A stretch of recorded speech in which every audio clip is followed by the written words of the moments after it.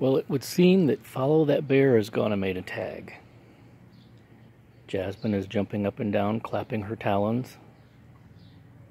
I uh, guess I will try to remember and answer the questions. There are five. One of them has to do with Did you do anything unusual as a child? The only thing I can really remember that would be unusual, I guess. um, do you? Uh, they used to have like John. Uh, what was it? Saint Johnson, baby aspirin. My mom used to have to hide that bottle because I would want to uh, eat them like candy, which was probably not a very smart thing to do. Because they were like orange flavored. They didn't taste like aspirin; they tasted like candy. Um, that was a weird thing. He wants to know if we have a do not resuscitate, and I think another question is if we have a will. I have neither of those right now. Um, I don't really have anything that anybody would want.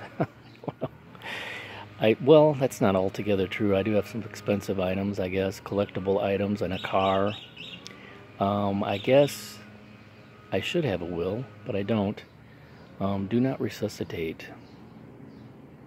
It would depend. It would depend on if I had a chance or if it would just mean I'd be hooked up to machines forever for a long period. I would not want that, and I would not want my family to have to deal with that.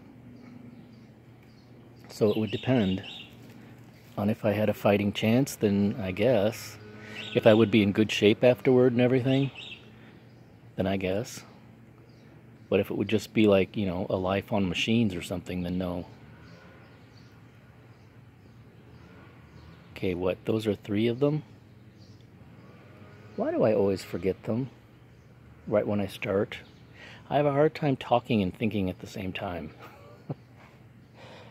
oh, do we have a water garden? No, I've always wanted a koi pond because I think koi is so beautiful. I had a 10 gallon aquarium as a kid and then into my teens. And I don't remember how long I had it from, but it was always um, tropical freshwater. I had goldfish. I had goldfish in bowls. Um, I had angelfish. I had all sorts of tropical freshwater fish.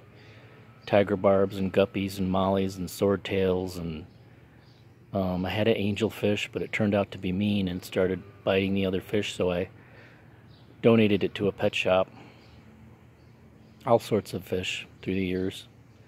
But right now I have a bowl of water with two, well, no, three Japanese um, algae balls called Marimo. Marimo. I've talked about that in my channel before, and I still have them. They're up in my room, so that's really the only water garden thingy I have right now. So let's see. What that's for? I think it's the very first question. What was the very first question? Oh, licking stamps and, and envelopes. You know that the, the idea of that bothers me too, but I'm still doing it. I'm still licking the envelopes, even though the idea of it bothers me, and I keep thinking, you know, I should have like a sponge and a bowl of water and, and do it that way, because it is really gross if you think about it. Who knows what that has touched or what's on? You know, you're licking at his adhesive and who knows who's touched it or what it's come in contact with or what bug has crawled across it. so it is a gross idea and a gross practice.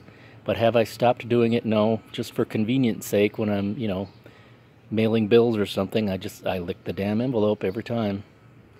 So those I think are all five questions answered and I'm glad you made a tag. I know Jasmine has asked me to make a tag and I just I don't know, I can't think of questions anymore.